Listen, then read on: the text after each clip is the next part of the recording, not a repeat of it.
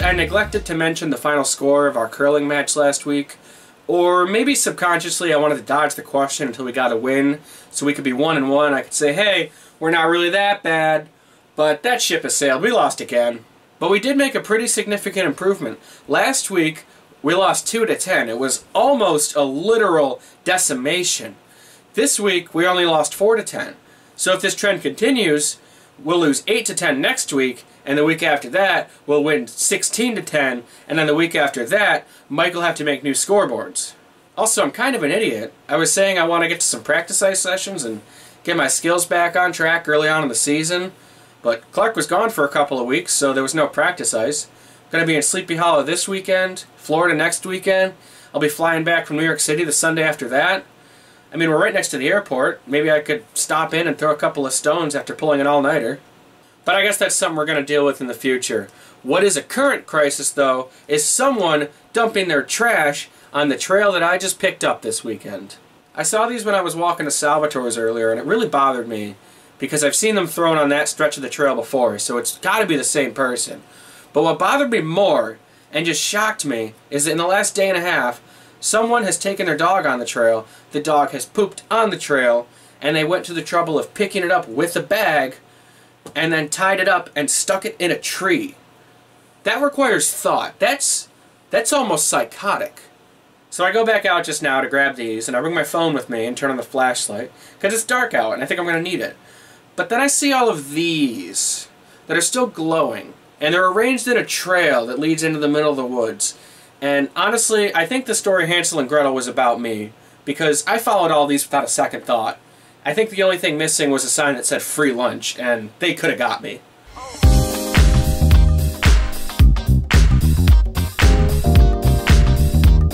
What an absolute nail biter of a game that was. Literally came down to the last rocks of the last end. We were up one with Hammer, Stames is counting two, and Chris just pulls like a ridiculous shot out of nowhere to take one point and the game. Like, I have literally never been so happy to buy someone a drink before. So my favorite beer is free beer. But my second favorite beer... Actually, my second favorite beer is a Blackberry Gose.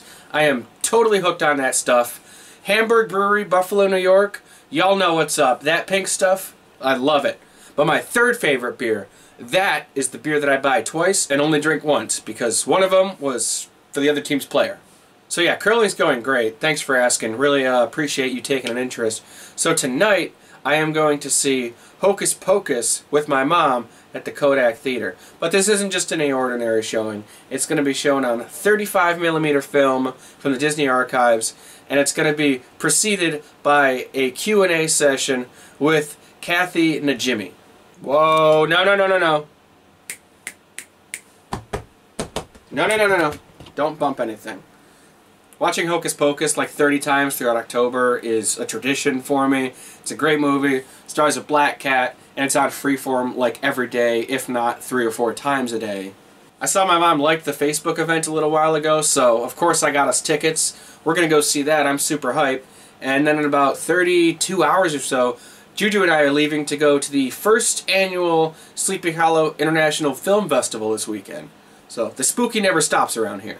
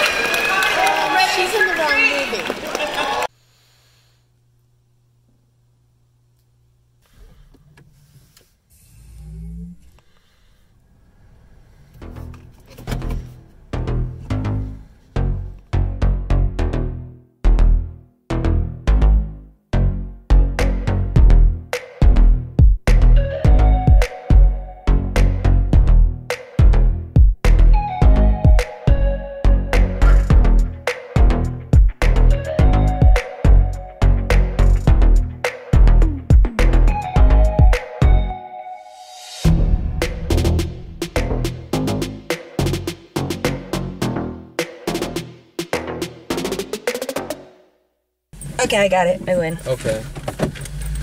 So Juju. Yes. Where are we? Marathon. Well, where are we heading? We are heading to the great place called Sleepy Hollow in Tarrytown. Well, Sleepy Hollow is like just north of Tarrytown. just north of Tarrytown, but it's a village. Yeah, it's. I don't know. Uh, Like the village of Webster is in Rochester. So kinda, if like, I said I'd say something, I would say Rochester. We're going to Sleepy Hollow. Yes. How how far away is it from here? Uh, three and a half hours? I think I think it's three on the dot. Three on the penny? It's 313 kilometers. Yeah, That's not super helpful. I know. Uh, I changed my phone over to kilometers like the last time we went to Canada. Never changed it back. And now you're just having too much fun with it. Kind of. Like people ask me like, "Oh, how far away is this?" I'm like, "It's 17 kilometers." Are we able to mildly translate it in your head? Kind of. Oh, see, now that's neat. That's that's actually neat. Well, because it's 60 miles to 100 kilometers. I'm really not intelligent. I'm So used it's- to. it's three oh, five. it's like 160. Like 60 is an hour. You know, Sure.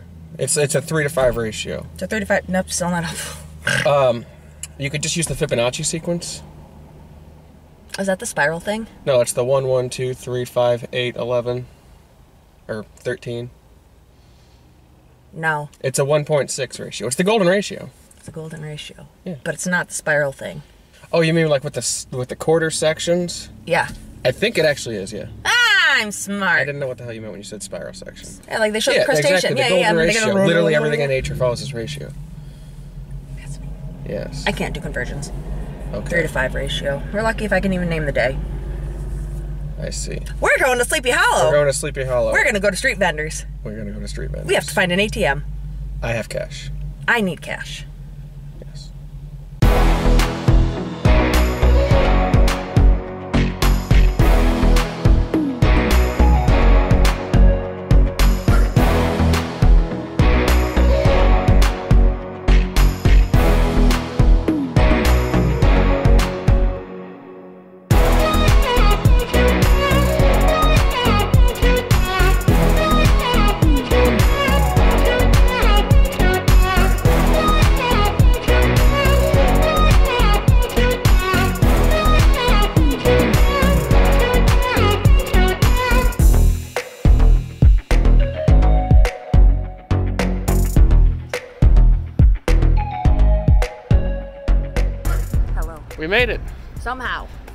We didn't get lost. We did not get lost. I was in charge of navigation. That's usually that's just no.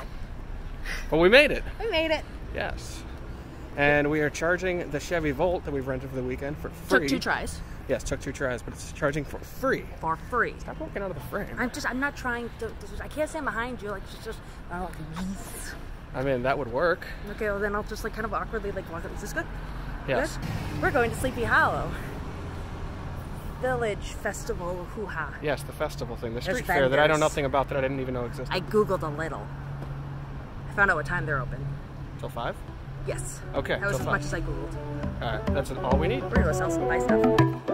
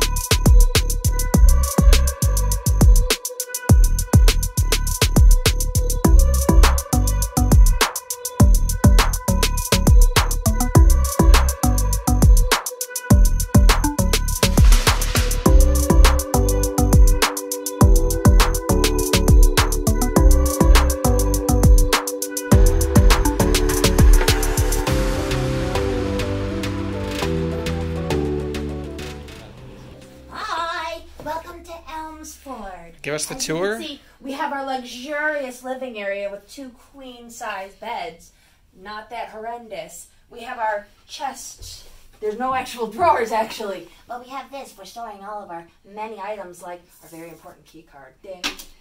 Over here, we have the desk. Their own rolling chair, yes. Plush, mm-hmm. nice. Mm-hmm. Not that bad. Still no drawers apparently. We have a mirror so we can observe ourselves. We have quite the view. This honestly, this is what I came here for. Like, how did they know? This is what I needed in my life. Wow.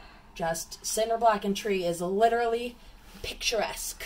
It's a real concrete jungle. Real concrete jungle. And to finish it off, a mildly outdated, but all things considered, not too horrendous bathroom. Like, So I'm mildly impressed by how much I am not terrified of this. it's cleaner than that basement in Brooklyn. preach, preach, preach. So yes, welcome everyone. We hope you enjoy your stay here at Elmsford Motel 6. I don't know what else to say.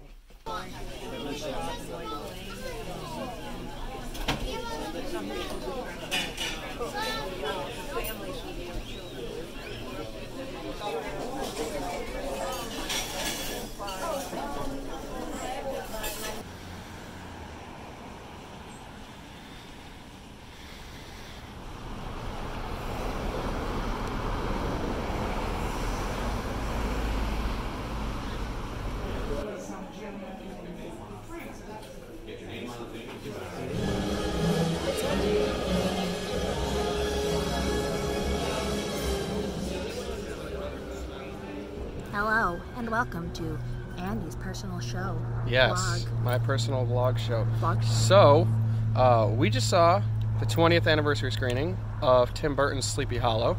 In where? Sleepy Hollow. Yes, in literally the Tarrytown Music Hall, Sleepy Hollow, New York. Uh, so, what did you think of it? I thought it was fabulous as always. Considering the fact that this is obviously the 20th screening, so we have seen it before. Mm-hmm.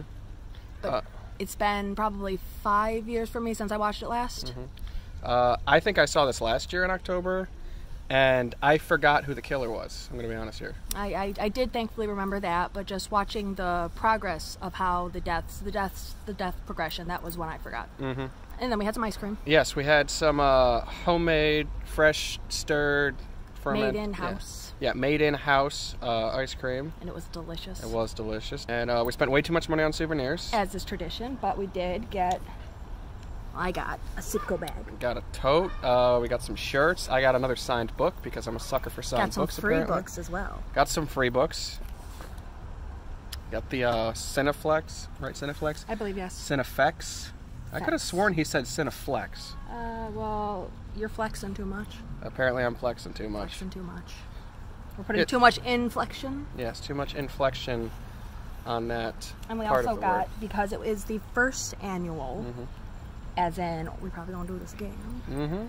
film festival at Sleepy Hollow, we got a one year only shirt. Well, because it'll only be true this year. They can't really sell this next year and be like it's the first one. It's like, but the sign right next to you says it's the second one. Oh, for next year. Yeah. Yes. For next year, they will not be able to say that it's the first annual. I mean, they could. It could just be their got so recurring thing. Is every year it's the first annual. Mm, no, because then it makes it less fun. Yes. Think of the 13th annual. Oh. Dun, dun, dun. They could host it on Friday the thirteenth. Yeah, if, if the Okay, we, we have to check when we're done with this if in 12 years the 13th will be on a Friday. That would be honestly nuts. That would be hilarious. That would be pretty hilarious. Uh, anywho, what we're about to go see is the Disney short rendition from The Adventures of Ichabod and Mr. Toad of this story. Of this story. That like, is 70 years old this year, I believe. I don't actually know. Yeah, it's. I'm pretty sure it was 70. I'm pretty sure that's why they were doing this. Um, and that's actually the thing that drew me here because I saw it on the D23 event list. But then I saw the D23 event price of $200 a person and said, No, thank you. no, we can rent a car, book a hotel, do other things, and still come in under that budget, which I'm pretty sure we did. We did. Like, minus souvenirs. Minus souvenirs, like literally like the hotel, Mm-hmm. the car rental, the gas we've paid so far, Yes. under 200. So, yeah, it's cheaper to just rent a car and do it yourself. An electric car. An electric car, the way of the future. Half electric car. It's technically electric. It's on a technicality a hybrid. It is totally an electric car. It's an electric car with a generator. It's not. It's only on paper a hybrid. Well, the Volt's dead anyway, so it doesn't matter. Right. Alrighty, so yeah, so we're gonna go because I think we've killed enough time I think we killed enough time. And a beautiful little park that took us a lot longer than I expected to get here. Yeah. we went to a dead end, Eh, so we lost our didn't know either No, until we I looked it know. up. Like halfway down, I was like, "Can we keep going?" I'm like, "I'm gonna keep going. Yeah. Gotta use your head. Gotta gotta go for a walk. Gotta get lost. Can't go on an adventure unless you get lost." Okay. We do best. Yeah, we're gonna go. We're gonna go. We're gonna go to the Disney. Gonna go to the Disney. Okay. Those.